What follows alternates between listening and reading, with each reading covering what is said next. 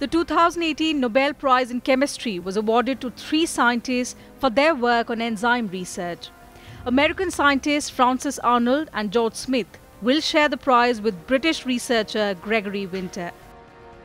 According to the Royal Swedish Academy of Sciences, one half of the prize, about 8,70,000 euros, will go to Frances Arnold, a professor of chemical engineering at the California Institute of Technology. The other half of the prize will be shared by George Smith of the University of Missouri and Gregory Winter, a 67 year old genetic engineer at the MRC Laboratory of Molecular Biology at Cambridge. Frances Arnold is only the fifth woman to clinch chemistry's most prestigious honor and the first since 2009. Her research on enzymes, which are proteins that catalyze chemical reactions, laid the bedrock for the development of better industrial chemicals and pharmaceuticals.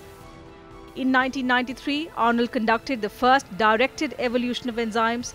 Since then, she refined the methods that are now routinely used to develop new catalysts.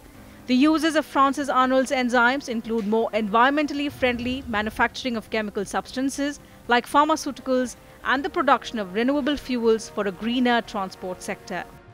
We make chemistry that's that's compatible with life. We want to use life to do our chemistry for us and make things from renewable resources.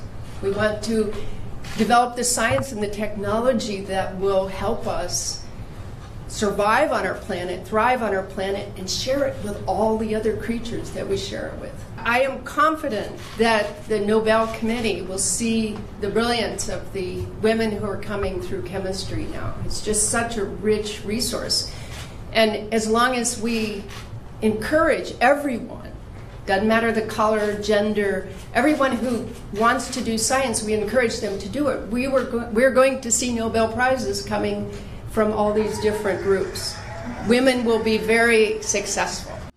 George Smith and Gregory Winter developed a technique called phage display to evolve new proteins. In 1985, George Smith developed an elegant method known as phage display where a bacteriophage, a virus that infects bacteria, can be used to evolve new antibodies, which are large proteins used by the immune system to neutralize harmful bacteria and viruses. Gregory Winter used phage display for the directed evolution of antibodies with the aim of producing new pharmaceuticals. The first antibody based on this method, adalimumab, was approved in 2002 and is used for rheumatoid arthritis, psoriasis, and inflammatory bowel diseases. Since then, phage display has produced antibodies that can neutralize toxins, counteract autoimmune diseases, and cure metastatic cancer. Phage display is in part of a larger uh, network of of, um, of life sciences technologies that try to uh, replicate some essential features of evolution in the test tube where where the experimenter has control of the natural selection that is going to select for the for the desired product rather than nature randomly selecting for some some product. If we could think of an insect as a quotes product. The Nobel Committee for Chemistry says the winners this year have taken control of evolution and used it for purposes that bring the greatest benefit to mankind this year's prize uh, in chemistry rewards a revolution based on evolution.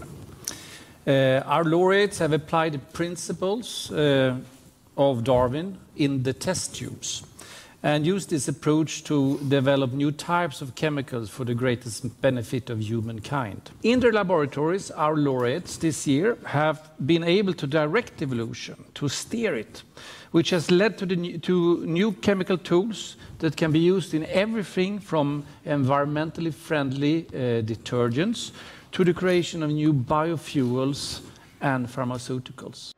Arnold, Smith, and Winter will receive their Nobel Prize from Sweden's King Carl XVI Gustaf at a formal ceremony in Stockholm on 10 December, the death anniversary of Alfred Nobel.